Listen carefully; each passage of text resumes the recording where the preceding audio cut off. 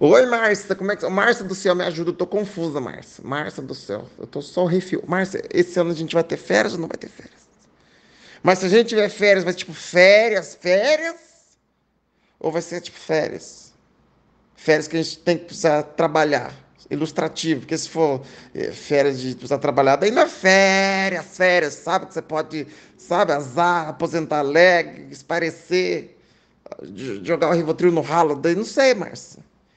Tô confusa. Esse ano estão mexendo em tudo. Feriado mesmo já mexi. Adiantado feriado, nada pegaria adiantar o feriado. Eu nem sabia que podia mexer em feriado como quisesse. Tinha Corpus Christi mesmo mexer. Será que podia falar sem falar com o Papa? Será que podia mexer sem falar? O Papa tá sabendo que a gente já Corpus Christi aqui? Que é uns feriados que eu não sei se pode mexer assim. Você entendeu? Agora, o meu calendário mesmo, mas está sem sentido. Não tem mais sentido. Eu peguei o calendário da geladeira, arranquei, embaralhei as folhas e falei, seja o que Deus quiser. Porque estão adiantando. E aí você vê que eles fazem as coisas pro bem deles. Porque já que pode mexer em feriado, eles podiam mexer nos feriados e arredondar. Caiu no domingo, arredonda para segunda. Caiu no sábado, arredonda para sexta. Caiu no quarto, arredonda para quinta, que arredonda para sexta, vira um feriado prolongado. Se fosse para mexer, então, a gente não tem que arredondar nada. Por que, que eles não arredondam o feriado também? Caiu no domingo, arredonda para segunda. Aí por quê? Porque eles mexem quando é interesse deles, agora quando é para a gente, não tem nada, entendeu? E eles ficam adiantando o feriado, e eu dependo às vezes do feriado para trabalhar meu conteúdo, Márcio, para trabalhar meu conteúdo. Você entende? Porque assim, ah, vai chegar agora dia do índio. Eu costumo trabalhar o dia do índio.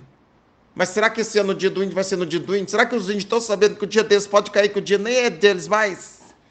Vai ser desmisturado. Vai que eles jogam o índio, de repente calha do índio ser no dia da independência. Eu vou ter que falar o quê para os meus alunos? Que o índio que gritou a independência.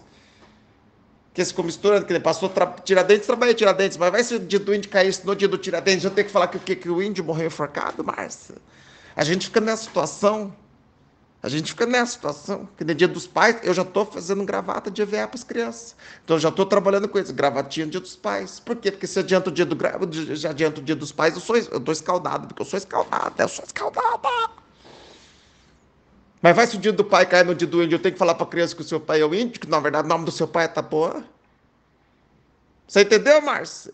Depois de junho vai vir julho, vai vir setembro, que eles podem adiantar o mês.